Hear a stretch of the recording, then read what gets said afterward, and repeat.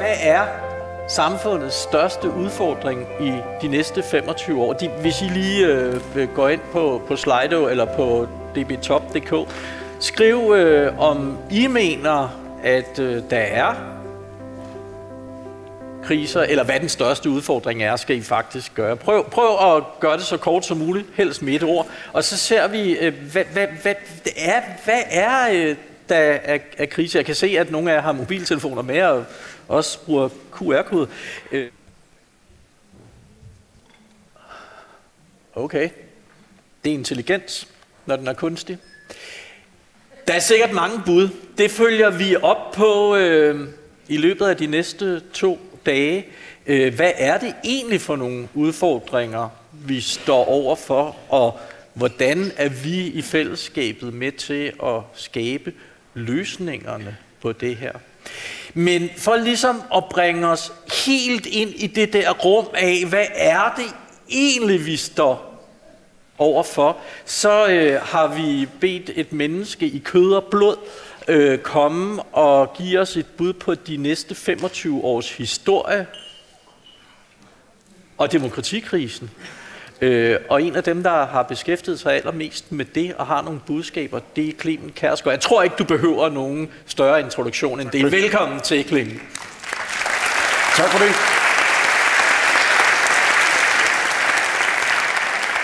Kan I høre mig? Det der energiniveau, det er slet... Kan I høre mig? Ja. Der er brug for jer. Og jeg starter lige med at tale om jer i to minutter. For jeg har en god nyhed til jer, og så har jeg en dårlig nyhed til jer. Men lad mig lige holde fast ved, at der er brug for jer. Ministeren har lige sagt det. I har lige hørt det i det foregående oplæg, og jeg kommer lige til at gentage det. Der er brug for jer. Der er brug for jer som forældre. Der er brug for jer som bedsteforældre og som onkler og tanter. Der er brug for jer som borgere i det her samfund og på den her planet. Der er brug for jer som kammerater og kolleger og ledere og alt, hvad I ellers er. Og der er brug for jer som bibliotekar. Og det mener jeg virkelig. Jeg er helt enig i det kort, der lige blev tegnet op her, af alle de bud, I kom med. Jeg vender tilbage til dem om lidt. Men en af de helt store udfordringer, og I ved godt, at vi bruger ordet udfordring hver gang, at vi er sikre på, at der kommer til at ske et eller andet redselsfuldt. Men at vi gerne vil efterlade en fornemmelse, en illusion om håb til sidst. Ikke? En af de helt store udfordringer, og nu ved I, hvad jeg mener med udfordringer de kommende år, det er, at vi kommer til at stå over for en generationskløft, der siger, spar to. Vi har en generation af unge nu, og ung er man, hvis man er under 30, og hvis man er under 30, så er alle, der er over 30, boomer. Er det gået op for mig. Og de af jer, der er i tvivl om det her, i kommer til at opleve det om et øjeblik. Hvis man er under 30, så er alle årtier, der gik forud, det samme. Det er et fedt Queen og Depeche Mode og Oasis og Beatles. De kendte hinanden. Det var... Jeg kan godt høre den nervøse latter. Jeg beklager. Det er derfor, der er brug for bibliotekarer, ikke? Du lider på den gale hylde. Du lider i det gale årti. Prøv at søge igen. Nå. Vi står over for en generationskløft, der siger spar 2. Og det er faktisk ikke fordi, at de unge ikke vil tale med os. Det vil de gerne. Og det er ikke fordi, at de unge, der afløser dem lige om et øjeblik, ikke vil tale med os. Det vil de sådan set gerne. Det er fordi, at vi er på vej ud. Der er rigtig, rigtig mange i vores generation, og de mennesker, der i dag er i 40'erne og 50'erne og 60'erne, som stempler ud lige om lidt. Mens man stadigvæk har et sommerhus, hvor man kan holde ud og være, før vandet stiger. Så man skal have røg sig på, hvis man skal ud i brygger sig. Vi lever i en tid nu, hvor alle danske sommerhuse er kystnære lige om et øjeblik. Hvis man skal nå at cashe noget friværdi ind, mens der er noget tilbage, så skal man skynde sig nu.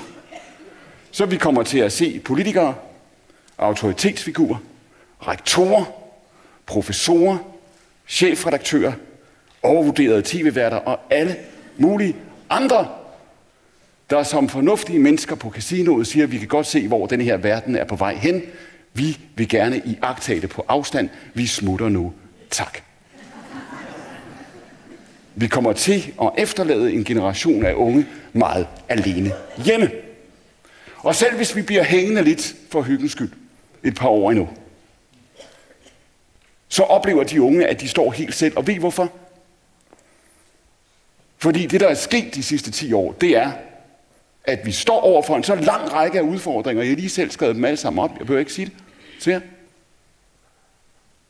At mange af os føler os overbevist om, at de næste årtier ikke bliver helt så lyse og helt så lykkelige og helt så fremgangsrige som det, vi har været vant til. Det er nyt. Det er ægte nyt. Og ikke fordi der ikke var ting at være bange for øh, for 20 eller 30 eller 40 eller 80 år siden. Det var der jo åbenlyst. Men det her, det er nyt.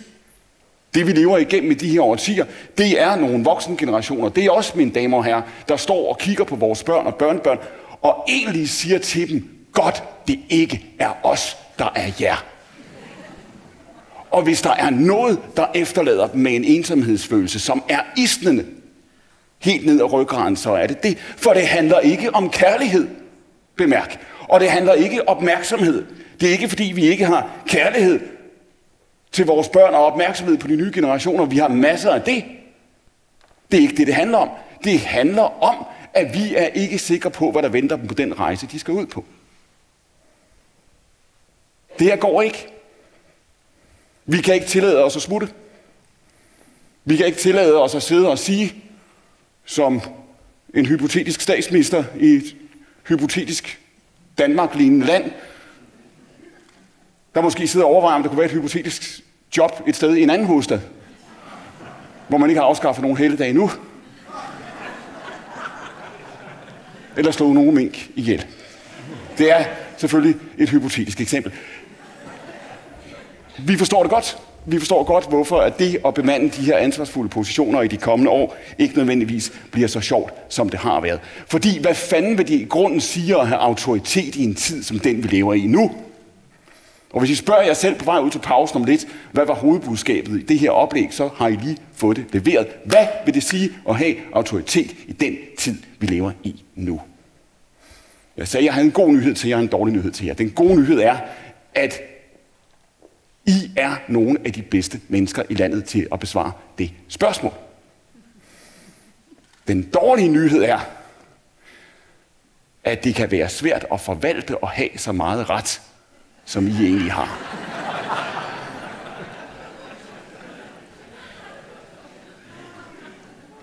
Det lyder som en kompliment. Det er det ikke. Men lad os lige prøve at starte med rosen, ikke? Det er sådan noget, man skal gøre som, som leder og coach og sådan noget. Lad os prøve at starte med, med rosen her, ikke?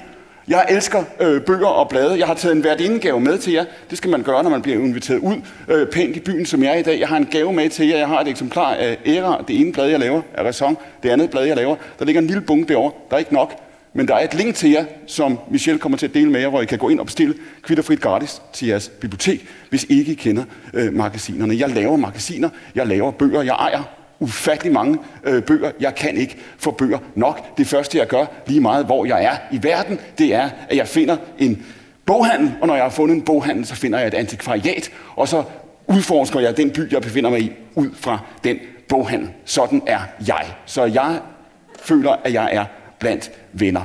Og ved I hvad?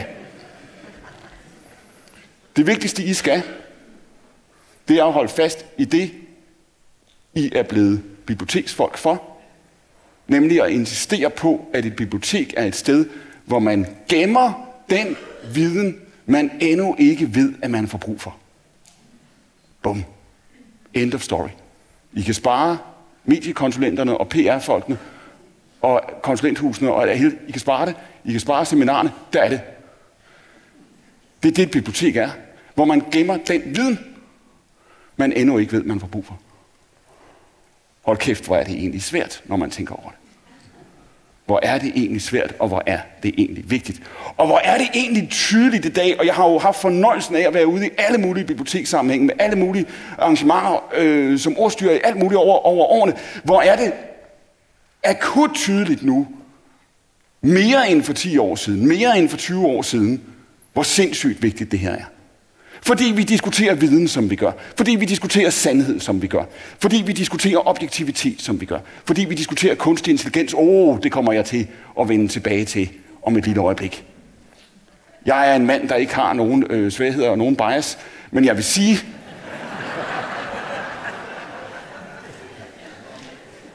Lige når det gælder kunstig intelligens, så vil jeg gøre en undtagelse, fordi det er dog det værste bras, jeg i mit liv har været udsat for. Det vender jeg tilbage til om lidt. Og jeg skal måske indskyde, at jeg taler kun cirka 7 minutter endnu, så til jeg stille og tager jeres spørgsmål resten af tiden.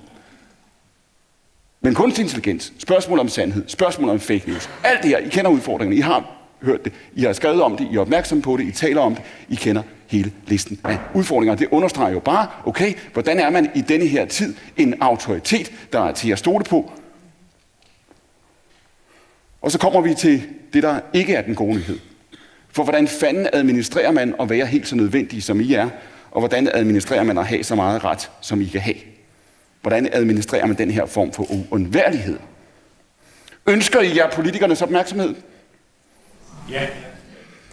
Det er forkert svar.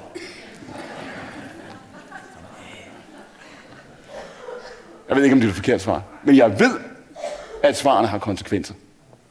Hvis I ønsker jer politisk opmærksomhed, hvis I ønsker jer penge, hvis I ønsker jer puljepenge, hvis I ønsker jer noget fra EU, hvis I ønsker jer noget fra regionerne, så længe som de findes, hvis I ønsker jer partnerskaber med erhvervslivet, hvis I ønsker jer partnerskaber med nogle andre, hvis I ønsker at komme tæt på politikerne og, og følge med i deres dagsordner, held og lykke med det.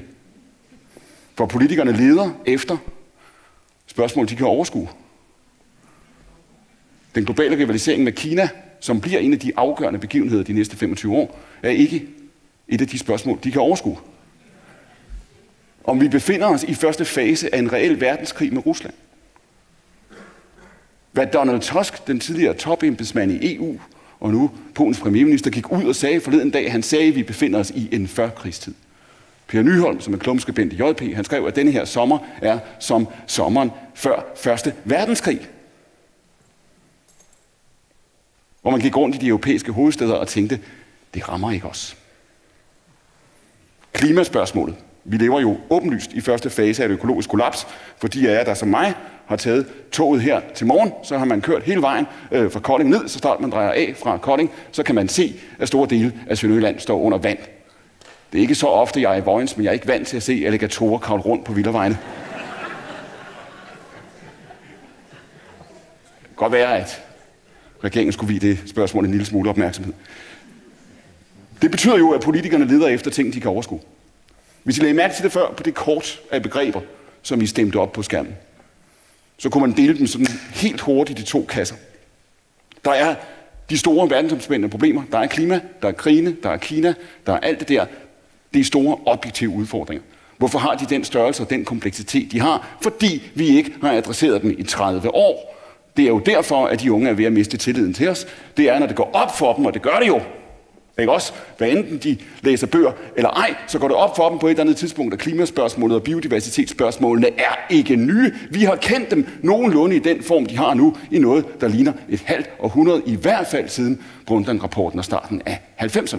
Okay, så der er en serie af reelle problemer, åbenlyse virkelighedsudfordringer, som vi står overfra, og som vi skal løse i en eller anden forstand i fællesskab, eller i hvert fald forholde os til i fællesskab. Er det bibliotekerne, der skal løse de udfordringer for samfundet? Og mit svar til jer, og så kan I udfordre mig om lidt, vil være nej. Nej, ikke primært. Så er der den anden udfordring. Det er den, der har med demokratiet at gøre. Det er den, der har med misinformation at gøre. Det er den, der har at gøre med, hvad viden er og hvad autoritet er. Og her er I til gengæld fuldstændig uundværlige. Og det er dermed også mit svar på den dårlige nyhed, fordi jeg siger, det er svært at have så meget ret, som I har. Det er faktisk en svær opgave at administrere. Når man ser på biblioteker, kulturbrancher, kulturinstitutioner, når man ser på pressen i det her land, når man ser på uddannelsessektoren i det her land, når man står, ser på store dele af denne her, det her såkaldte civilsamfund og det folkelige liv i det her land, så har der været en svaghed, som har været ganske udtalt over de sidste 25 år. Det er, at man har været så grundlæggende i tvivl om, hvorvidt man har en fremtid. at man er løbet derhen, hvor man synes, projektørlyset har befundet sig. Det er nu derovre. Nu, vi kan godt. Hvad siger I? Hvad siger I? Hvad skal vi? Hvad vil I gerne have? Ikke? Når politikerne går ud, alle med én stemme og siger, at vi skal besinde os på, hvad Danmark er, dansk historie og dansk kultur, så springer DR og teatrene og filmbranchen over og siger, så skal vi også lave klassikerne, så skal vi også lave højskolesangene, så skal vi også gøre det. Hvad er Danmark? Og så presser vi Danmarks bedste, Danmarks eneste, Danmarks første, Danmarks sidste ned i alle de programtitler, vi kan finde. Det er det modsatte af autoritet. Det er modsatte af autoritet. Det vil sige, det dilemma og den udfordring, I står overfor, når det gælder kunstig intelligens og digitalisering, når politikerne lige om et øjeblik kommer og siger til jer, undskyld, hvorfor har vi overhovedet levende bibliotekar? Hvorfor erstatter vi jer ikke med kunstig intelligens? Hvorfor bruger vi ikke alle de penge, vi bruger på mursten og husleje og varmeregninger? Hvorfor bruger vi ikke de penge på bare at købe rettigheder og lave store aftaler med Google, store aftaler med Amazon? De vil gerne. Og så kan vi forære ungerne en iPad, eller forære dem noget andet. Jeg ved godt, politikerne siger det noget andet i øjeblikket. Vi får se, hvor længe det var, og hvor hårdt det holder. Når de overhovedet anerkender det, så siger det noget om, hvor dybe de her problemer er blevet. Her står I over for præcis den samme udfordring som mediebranchen, som store dele af uddannelsesbranchen, der kæmper med at lave en eller anden form for kobling mellem de studerende, de kan få, og den viden, som de prøver at udstyre de studerende med. De dilemmaer, dem kommer I til at stå overfor. Hvad bliver det sværeste i det? Det er at besinde jer på, hvad I bringer med til bordet.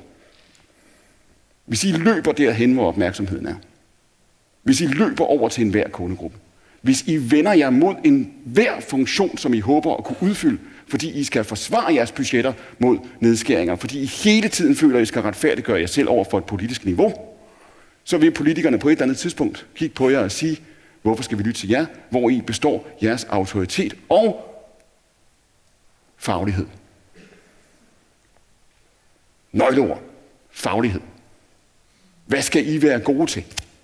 Hvad er I gode til?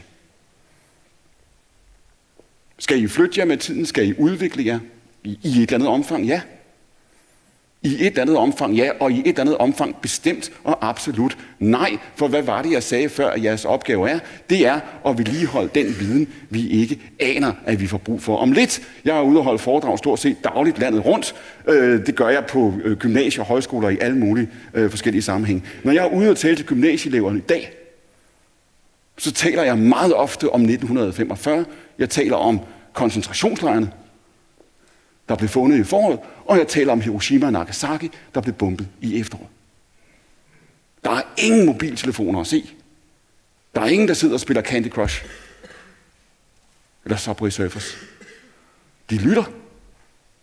Opmærksomt. Fordi de har den samme instinktive opfattelse, som vi alle sammen har, nemlig at historien er lige hældende på os. Ikke også? En stor årsag til de unges mistrivsel, det er, at de kan se, at deres forældre er bekymrede.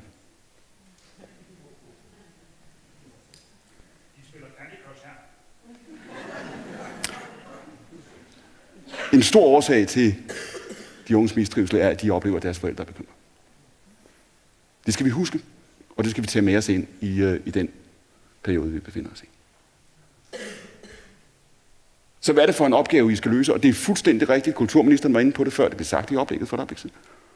Det er fuldstændig rigtigt, at I har en, en og meget, meget vital rolle at gå ind og spille i præcis det her, vi er på vej ind i. Og det bliver, er jeg bange for, ganske voldsomt. Der er to store spørgsmål, der sådan helt grundlæggende afgør de næste 25 års verdenshistorie. Det ene er, hvor meget vækst kan vi tillade os, hvis vi ønsker at ville genkende verden nogenlunde, som den ser ud. Jorden er ikke ved at gå under. Det er der ingen, der har sagt. Det er der ingen, der påstår. Men vi er åbenlyst i færd med at forandre jorden, den planet, vi lever på. Vi kommer til at leve med konsekvenserne af det og ansvaret for det. Spørgsmålet er, hvor meget vækst er der plads til? Det er det ene store spørgsmål. Det andet store spørgsmål er, hvor meget vækst kan man have uden frihed? For Kina har i 30 år demonstreret, at man kan godt have meget høje vækstrater uden frihed, uden frihed til at tale og tænke frit og mødes frit. Kina har opbygget et overvågningssamfund, som ville kunne få George Orwell til at ligge vågen om natten og spørge sig selv, hvorfor tænker jeg ikke på det?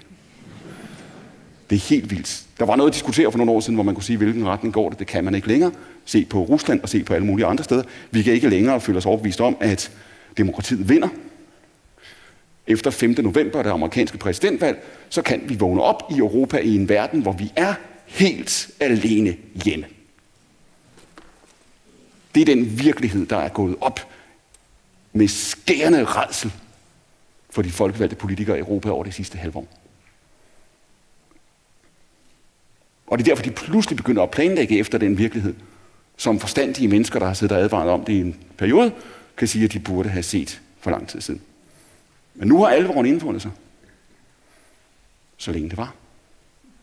Demokratiet er truet af Kina og Rusland. Demokratiet er truet af kunstig intelligens og alt muligt andet. Men det er også truet af os selv. Det er truet af os selv, når vi ikke bruger det. Kunstig intelligens er det modsatte. Det modsatte af alt det, vi skal. Og alt det, vi skal påskynde hos hinanden. Og alt det, som kunst og viden og videnskab og demokrati handler om. Det bliver det store spørgsmål de næste 25 år. Det er, er man i stand til at opretholde meget høje vækstrater? Ved at lade maskinerne gøre det, ved at lade masseovervågningen køre? Og ved at fastholde sine borgere udspændt i total magtesløshed? Det er det, vi kommer til at bevise. Det er ikke et spørgsmål om, det er ikke et spørgsmål om, vi ønsker at bevise det. Det er ikke en teoretisk diskussion, der bliver afgjort i et konferencerum, i et auditorium eller på en højskole eller en tv-udsendelse. Det er noget, der bliver afgjort ved samlebåndene, som statsministeren vil sige. Ikke også? Det er noget, der bliver afgjort ude i den reelle økonomi. Vi har været vant til i et par hundrede år, at der har været en sammenhæng mellem den frihed, vi har nyt i Vesten, i den frie verden, som vi plejer at kalde den, og den rigdom, vi har haft. Spørgsmålet er, om det bliver ved. For noget tid siden, der sagde jeg følgende. Det var en, en spot om, om den tid, vi var på vej ind i. Citat, jeg citerer mig selv her, så ved jeg det godt. Vi får en meget voldsom politisk debat i de kommende år. Voldsom. Vi har kun set toppen af den. Der er gradvist siden 2001 kommet en åbenlys brutalitet i debatten. Hvis vi baserer hele vores demokrati på, at vi nok inderst inde er enige, så har vi allerede forskruet spillereglerne. For hvad nu, hvis vi ikke er enige? Hvad nu, hvis vi heller ikke bliver det? Forudsætningen for, at man kan få en reel debat og de store politiske visioner frem, er, at vi anerkender uenigheden. Det sagde jeg i februar 2016.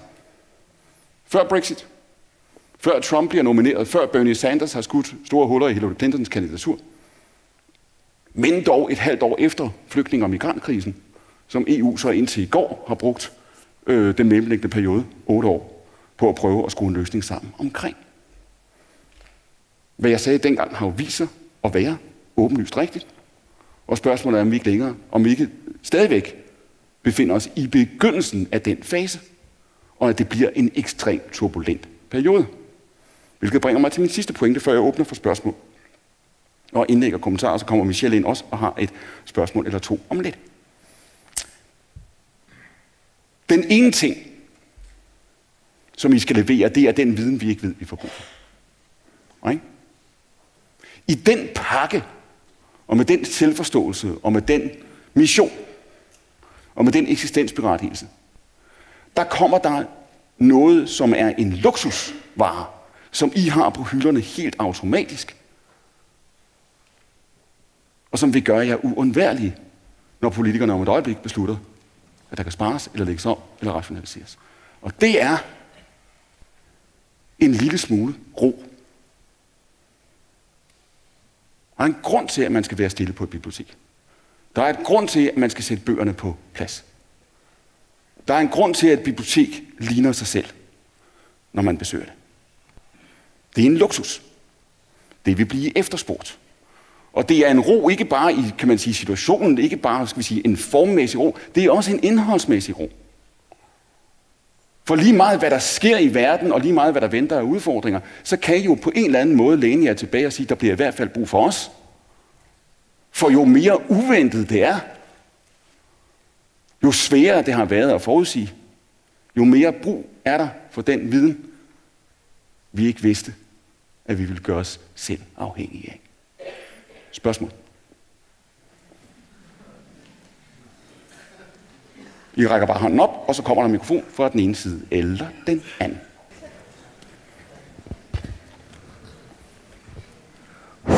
Hej, jeg hedder Erik. Øh, tak for et super spændende foredrag, eller oplæg.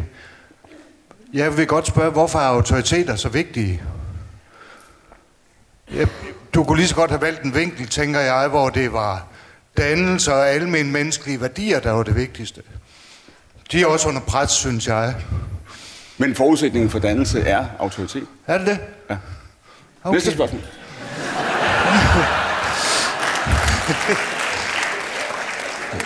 I en gang sidst i 60'erne, der leverede din far og min far nogle bidrag til nogle antologier, der handlede om, jeg tror det hed den tredje eller den fjerde statsmagt. Mm. Hvor uheldigt det var, at det var pressen, der bestemte politikken. Jeg synes, det er sjovt, når vi snakker autoritet. Jeg er ikke bange for, øh, hvad hedder det, kunstig intelligens. Jeg er bange for de ting, der påvirker de generationer, som vi jo ikke kan påvirke længere. Jeg er bange for øh, den måde, medierne udvikler sig på. Mm. Jeg så en af dine kollegaer, eller en journalist på News for nylig, der sagde, nej, hvor er det da ærgerligt med det her kunstig intelligens, fordi det var meget bedre, hvis vi bare bedrev rigtig god og løs journalistik, og de gad høre på os. Der, hun sagde ikke, hvis vi gjorde, hun sagde, det gør vi jo. Men du jeg får... synes, at det er spændende, de der dagsordner, hvad det er, de bliver overrulet af. Åh, oh, men du siger to ting her, ikke? Du ja, siger, det gør du, Ja, det synes jeg. Som, som lyder lidt som om, de er i modsætning til hinanden. Du siger på den ene side, du er bekymret for, hvad der kommer til at præge de generationer, som vi ikke er i stand til at præge. Og så siger du, du er egentlig ikke bekymret for kunstig intelligens. Jeg vil sige det på den måde, jeg er ikke bekymret for, for kan man sige, kunstig intelligens i sig selv, som det står, som det er. Jeg er ikke bekymret for at sige, her har vi noget, som du har lavet, som jeg har lavet, og her har vi noget, som den kunstige intelligens har lavet, og er der brug for os? Fordi vi ved godt, at den kunstige intelligens er Wikipedia by another name. Det er på en eller anden måde en eller anden form for gennemregnet gennemsnit af noget, som er blevet skabt af mennesker i den anden. Det er der, vi er nu. Men det er ikke der, vi er om et øjeblik. Det, at man i dag går ind på uddannelsesinstitutioner i det her land og siger til de unge, I skal bruge kunstig intelligens, det er et fantastisk værktøj, kom i hug, brug det, nu skal vi lære jer sådan og sådan, der er kursus i AI kl. 9, og så er I idræt kl. 10. Det afslører for mig, hvilken fuldstændig afgrundsdyb misforståelse, som vi også dyrker i det her land, når det gælder, hvad er dannelse? Hvad er uddannelse? Hvad er viden? Hvorfor er der brug for autoritet? Der er jo ikke brug for en autoritet, der så skal sætte sig igennem. Jeg prøver ikke, at undskylde, hvis jeg har efterladt den misforståelse, at ophøje øh, Danmarks biblioteksfolk til sådan en form for altså vogternes råd, som det man har i Iran. Det er ikke det. Vi har ikke, der er ikke nogen grund til at indsætte en form for præstestyre. Jeg mener, vi har jo KL i forvejen, ikke? Vi, øh, vi har et spørgsmål herovre. Men, men jeg, jeg skal lige øh, bare lige for at gøre sætningen færdig. Så når jeg taler om autoritet, så taler jeg ikke om én autoritet et sted. Jeg taler om den autoritet, som de unge møder forhåbentlig der alle mulige steder. Fra deres læger, fra deres forældre, fra deres bibliotekar, alle mulige andre steder. Vi er så bange for autoritet nu. Vi er så bange for den. Vi er bange for magt. Vi er bange for autoritet. Vi er bange for ikke at påvirke verden, men vi er måske i virkeligheden også redselslagende for at påvirke den. Velvidende, at vi så vil have pådraget os et ansvar. Og der er det, jeg starter med at sige, der er brug for os. Næste spørgsmål. Øh, tak. Sofie Wittved fra Institut for Fremtidsforskning her. Ja. Øh, jeg kom lidt sent ind direkte øh, fra København i det regnfulde vejr, så jeg har nok misset en del. Men hvad jeg kom ind til at høre, det var... Men hvis man er fremtidsforsker, så kan man jo også bare tillade sig at komme meget sent ind, ikke? Fordi man jo... Jeg er jo Lige slet meget. ikke her overhovedet. Jeg er jo, og det er jo Lige meget, faktisk, lige meget, hvor sent man møder ind, er man stadigvæk i god tid, ikke? Præcis. Jeg synes, det er super spændende, at du siger, på den ene side, så er vi jo truet af kunstig intelligens, og som jeg også hørte dig sige, så skal bibliotekerne være det modsatte af kunstig intelligens, hvad end det så betyder. Øhm, men vi er også truet af os selv, hvis vi ikke bruger det. Var det forkert hørt? Ja, Hvad var det, du sagde? Vi er jeg, truet, jeg hvis mener vi... ikke... Jeg, jeg mener, problemet er øh, ikke, hvad den, ikke, ikke alene, hvad den kunstige intelligens nu gør nu. Problemet er, hvis du er 15 eller 20 år gammel, og du bliver fortalt, at nu skal den kunstige intelligens skrive din tale til farmor, og nu skal den skrive din danskopgave, og nu skal den skrive dit digt, og nu skal du skrive den sms, du sender til ham den søde fra klassen, som du gerne vil i biografen med. Hvad gør det ved dig? Op på Helt enig. uddannelse. Og så vil jeg bare lige sende et andet spørgsmål, fordi når man så siger, at du siger, at det er en luksus at gå ind på biblioteket, det er en luksus, det skal være, som det er, og det altid har været. Er det relevant så for fremtidens borgere, for lige at følge op på den, der tidligere, det tidligere spørgsmål? Hvordan sikrer man så relevans i den her verden, hvor kunstig intelligens kommer til at kunne give adgang til, om ikke andet i hvert fald information i en langt højere grad? Lige om et øjeblik, ikke? så befinder vi os i en verden, hvor der er så mange skærme, og vi har så meget flimrende information alle steder, og vi er så redselsvægte stressede alle sammen, at man vil betale penge for at gå ind i et lokale, hvor ingen må sige noget, og der bliver tysset på en, og bøgerne står, hvor de stod sidst. Det bliver en form for spag for sjælen. Man vil lukke døren. Og prøv lige at høre, jeg siger ikke, at det skal være præcis som det var. Og jeg siger ikke, at man ikke må gøre det ene, og man ikke må gøre det andet. Please. Prøv lige at holde fast i roen. Ikke bare den formmæssige ro. Jeg siger ikke, at I skal gå ud med altså, I ved, pakker med støv og lægge støv på hylderne. Vel, med spindelvæv. Det er ikke det, jeg taler for. Men den indholdsmæssige ro. Goddag, det er mig, der er bibliotekaren. Jeg har siddet her længe. Jeg ved noget. Prøv at høre. Prøv at høre. Det er, ikke, det er en god ting. Jeg ved, hvad jeg laver. Vi har politikere nu, som skifter ressort og job. Hvis du er politiker nu, du går ind i politik, når du er 18. Du ved ingenting, når du er 18. Du er kun i politik, så ved du heller ingenting, når du er 28. Når du er 38, så bliver du måske minister i en retningsløs regering hvor statsministeren, din partiformand, sørger for at sætte dig på et ministerium, hvis ressort du kender rigtig dårligt, for sådan beholder vedkommende sin egen magt. Så får du seks måneder som minister, hvor det højeste, du kan se frem til, det er at møde mig. Så bliver du fyret. Og så er det ud i det de sommerhuse, hvor, hvor vandet står højere og højere, hver gang kommer. På verandaen, ikke? Er ikke nogen særlig attraktiv tilværelse? Ja. Og så er det godt at have en bibliotekar, der har en længere erfaring, det er det, jeg mener. Værsgo. Peter.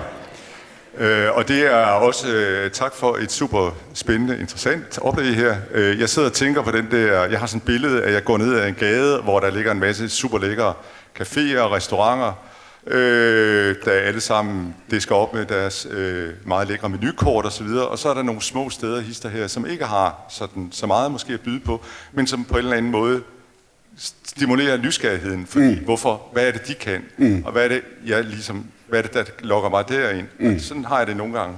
Og det er måske også lidt det, sådan fisker efter i det, du siger nu, hvordan vi bliver klogere, eller i virkeligheden får appetit til og forundring og lyst til ja. at gå ind i det, vi ikke ved, vi, har, vi får brug for, ja. om vi får brug for, ja. fordi det er måske i virkeligheden der, ja.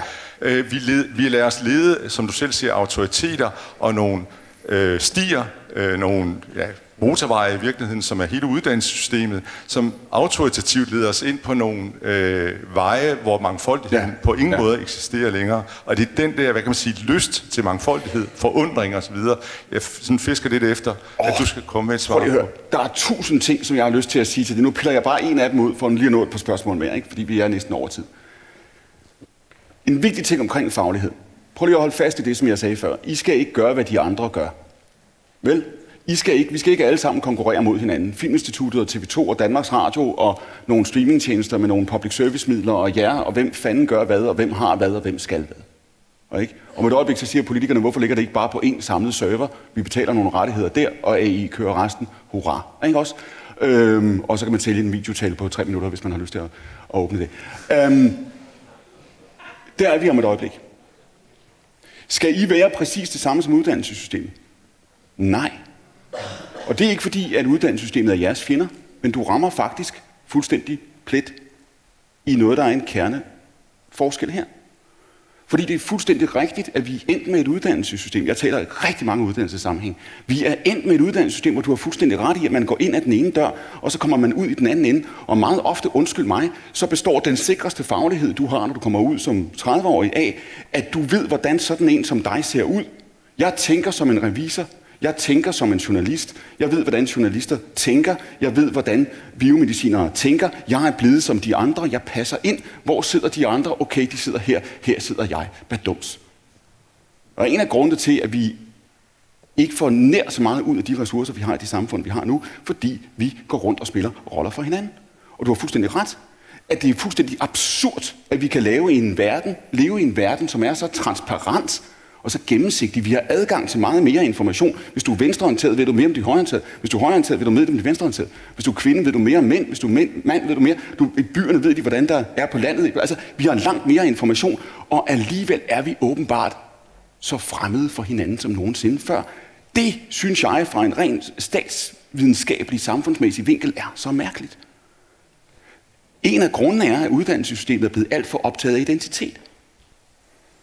Faglig identitet snarere end faglighed ned i bunden. Og der har I noget, uddannelsessystemet ikke har.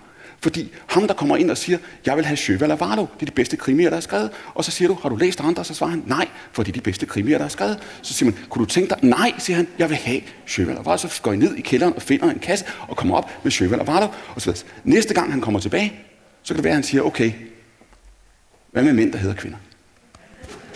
Godt. Og ikke også? Pointen er den, at der er en anden form for faglighed, som er jeres og som I står på, som er en mindre hierarkisk faglighed, som er en mere demokratisk faglighed, som er en mere spættet eller broget faglighed, fordi man kan komme ind på biblioteket for at hente en bog om motorcykler, og så går man ud med en bog om noget andet. Det er det, som biblioteket kan. Det kan uddannelsessystemet i ringere og ringere grad. Jeg lover jer én ting. Nogle af de mennesker, der kommer til at forme det her samfund om 5 eller 10 år, og I kan se det nu, hvor de unge begynder at tage sabbatår på den store klinge. Hver gang, at Kåre Dybvad går ud og siger, at man skal hente sine børn senere og senere i daginstitutionerne hver dag, hvad det er det, han siger, fordi så er man et bedre menneske, ikke? eller en bedre socialdemokrat, eller hvad argumentet øhm, så siger de unge, det gider vi ikke. De unge tager nu sabbatår. Stort set hele den årgang, der fik en ungdomsuddannelse sidste år, med undtagelse 10-15 procent, tager sabbatår. Masser af dem kommer ikke til at gå ind på en almindelig uddannelsesinstitution. I hvert fald ikke at gennemføre en uddannelse, som vi forestiller os, de skal, og stå med et diplom i hånden, når de er 28. Fordi Greta Thunberg har fortalt dem, der står det hele under vand, så det kan også være lige mig. Men ved du, hvad de gør? De sætter sig ned i et eller andet tomt butikslokale nede i Sønderborg. Og dem er der nogle stykker af, de tomme lokaler. Og så starter de en virksomhed. Og så ringer de til fætter, og så ved fætter, hvordan man laver noget. Og hvis man så har brug for noget information, ved du, hvor man så går hen? Så går man op på biblioteket. Bum. Og det vil sige, bare, undskyld, bare, bare fattigt, det vil sige, prøv at kigge på, hvilken kolossal styrke I har i forhold til undervisningsverdenen. Prøv at holde øje med det, og beskytte det i de år, der kommer. Der, der, der er flere fra salen, der gerne vil spørge om noget, men der, der, i forlængelse af det her, øh, er der faktisk et spørgsmål, der, der, der blev stillet på, på, på Slido. Kunne vi tale om, hvordan vi engagerer de unge? Altså det her med, hvordan får vi egentlig fat i dem? Øhm, fordi at, at det, det, uddannelse er ikke altid svaret. Øh, og det er måske det, du taler om, den der serendipitet, at vi, vi opdager noget, vi ikke vidste, vi havde behov for at vide. Noget af det, der sker ude i bibliotekerne, er jo, at der faktisk er vækst i, hvor mange debatarrangementer, som der bliver lavet. Og, og, og, og det måske ikke skal hedde debatarrangementer. Det skal nok ikke hedde den politiske debat. Det skal måske være middagen om at Hvordan spiser du noget mindre kød? Og så det der med, at man får en samtale i gang. En af de øh, ting, jeg kan se, man arbejder meget med, er øh, evnen til at have fremtidskompetencer. Altså det at kunne forestille sig fremtiden. Mm. Øh, det, det er der nogen, der arbejder med, der er Futures Literacies. Øh, øh, og jeg har lovet en kasse champagne til dem, der finder på et bedre begreb end Futures Literacy. Men, men det er i virkeligheden evnen til at kunne forestille sig en fremtid, og det er jo det, vi har behov for. Mm. Når, når jeg hører dig fortælle om, at vandstanden stiger, så bliver jeg lidt deprimeret, og det er jo de unge, du møder ude på gymnasierne, når du er derude. Og mit spørgsmål i forlængelse af det her er, hvordan får vi dem i tale i den der virkelighed, som bibliotekerne jo er en del af, som ligger uden for uddannelsesinstitutionerne, hvor folk kun kommer ind af lyst. Hvordan får vi den der samtale i gang på tværs af generationer? Jeg tror, jeg, nu, hvis jeg svarer rigtig kort, det er en, en større diskussion, vi jo også på, forhåbentlig kan, kan, kan finde også andre øh, arenaer og forhold til at tage. Prøv at høre. Hvad er det, I har, de andre ikke har?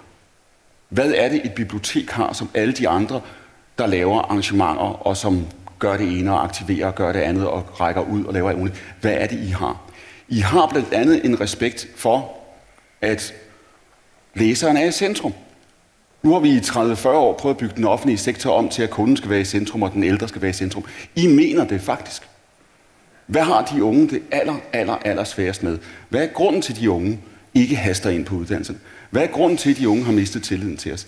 Hvad er grunden til, at de unge ikke vil forbruge de gamle medier? Hvad er grunden til, at de unge står af? Det er, at de meget ofte føler, at der er en bagvedliggende dagsorden. Der har siddet nogle voksne mennesker omkring et bord, som har besluttet, hvad de skal føle. Føle. Bemærk det. Føle. Hvilken følelse skal de have, når de kommer ud af salen? Det er de rigtig vant til.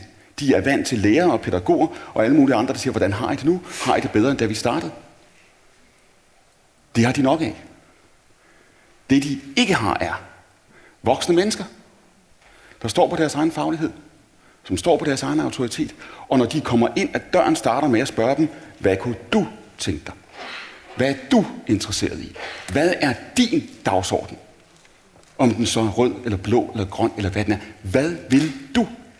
Og dybest set møder ind og klæder dem på til at være dem, de gerne vil være.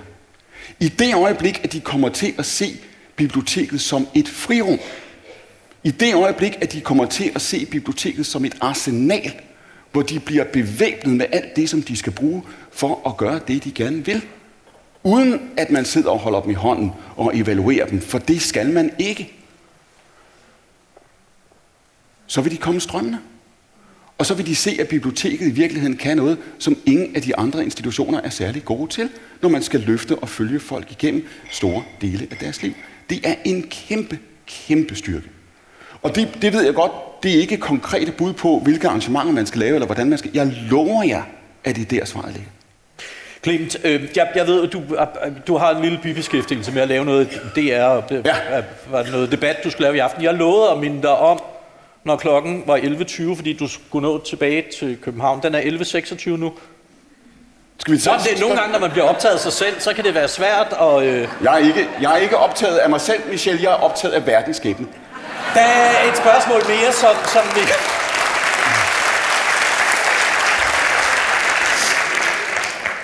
Jamen, øh, så et spørgsmål i forlængelse af det. Hvordan gør vi viden og tilgangen til viden spændende for folk? Mm. Fordi at vi har set, at vores udlånstal har ligget cirka på det samme, men vores spørgsmål, dem der kommer hen og spørger Ja. os, der ved det fagligt, Ja. de er forsvundet de sidste 20 år. Så hvordan løser vi den? fordi hvordan, folk gør går vi, på- hvordan gør vi viden lige så spændende som holdninger? Det er der, hvor I er blevet slået af Google, ikke? De der Google-spørgsmål, ikke? Godt, og det er et godt sted at slutte. Vi skal også slutte nu. Jeg er lærersøn, ikke? Jeg er, min mor var historie- og samfundsfagslærer, øh, og min far var historiker. Jeg er, og var jo også øh, lærer for så vidt en del af sin, øh, sin karriere. Jeg er lærersøn, ikke? Um, de bedste lærere, jeg har haft i mit liv, også dem, der har, som jeg har arbejdet sammen med i forskellige funktioner over årene, det er folk, som jeg husker med kærlighed og taknemmelighed. Ikke fordi de lige gav mig, du ved, Google, hvordan koger jeg et æg? Svar, vel? Altså, ikke den type svar. Hvordan finder jeg en kæreste? Spørgsmålstegn. Ikke? Det er ikke den type svar. Men fordi, at de, når de står foran mig i en undervisningssituation, som det hedder på undervisningsdans nu, viser mig, hvordan de arbejder med det materiale, de har. Hvordan er de gået til det her? Hvordan er de begyndt? Hvilke spørgsmål har de stillet? Det hele handler for mig altid om spørgsmål. Bag ved et spørgsmål ligger der et andet spørgsmål. Hvad er det kunstig intelligens ikke kan? Hvad er det Google ikke kan? Hvad er det det er lort? Og det er noget lort, og det kommer virkelig til at, at øh, skulle ind i et voldsomt hårdt opgør med det. Hvad er det, det ikke kan? Det kan ikke vise dig, hvordan det tænker, for det tænker ikke. Det kan ikke vise dig, hvordan det er i tvivl, for det er ikke i tvivl. Det kan læreren, og det kan bibliotekaren. Så hvis ham, der kommer op og siger, jeg vil gerne have en god krimi, så det dårlige svar, det er jo at sige, læs ham, eller læs hende, eller tag den her og gå hjem med den. Det gode svar er at sige, hvad interesserer dig? Hvorfor læser du krimier? Jamen, det gør jeg, fordi okay, så kunne det være sådan, så kunne det være det og det. Hvad der sker nu, det er dannelse. Det er autoritet. Du har ikke fortalt vedkommende noget som helst. Du har ikke udstedt noget som helst diktat. Du har mødt mennesket maskeløst og uhildet. Ikke også? Med din egen faglighed. Og så har du ved din egen faglighed stillet de spørgsmål, der bringer det her i spil, som vores gamle familielæge sagde. Øh, han var vores familielæge meget længe. Øh, han sagde, det at være praktiserende læge, sagde han, jeg tror, han sagde, det er omkring 30% medicin og 70% psykologi. Det vil sige, i det øjeblik, at du har den samtale med de mennesker, som du står over for, så er det den samtale, de tager med sig ud af døren. Ikke den bog, du har lånt dem. Tak for det.